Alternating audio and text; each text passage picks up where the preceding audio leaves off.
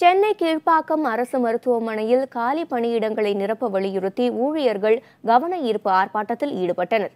அதிக பணிச்சுமை காரணமாக ஊழியர்கள் தற்கொலை செய்து கொள்ளும் நிலை ஏற்பட்டுள்ளதாக குற்றம் சாட்டுகின்றனர். ஐந்து நோயாளிகளுக்கு ஒரு பணியாளர் என்றிருக்க வேண்டிய நிலையில் நாற்பது நோயாளிகளுக்கு ஒரு ஊழியர் மட்டுமே இருப்பதாக பணியாளர்கள் கவலை தெரிவித்தனர்.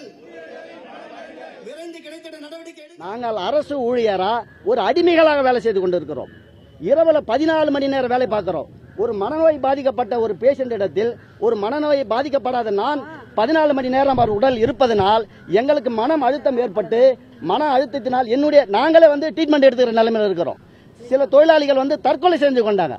ஒரு இரண்டு ஒரு ஒரு ஒன் இயருக்கு முன்னாடி ஒரு தோழர் வந்து இரவில் வந்து நம்ம மணல பஸ் ஸ்டாண்ட்லேயே தூக்கு போட்டு பனிச்சுமை ம- அதிகமான காரணத்தினால் இந்த மாதிரி நடக்கிறது.